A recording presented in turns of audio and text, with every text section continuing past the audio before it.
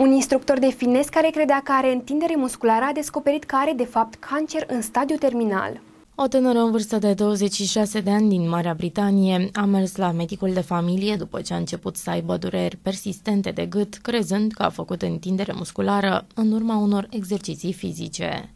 După mai multe analize a descoperit că are de fapt tumor la nivelul gâtului, pieptului și plămânilor și a fost diagnosticată cu un tip de cancer al sistemului limfatic. Ea a făcut ulterior mai multe ședințe de chimioterapie pentru a distruge celulele canceroase. Tânăra a fost în remisie 12 luni și acum așteaptă să-și refacă viața. Ea a mărturisit că avea adesea stări de amețeală, însă credea că sunt cauzate de oboseală.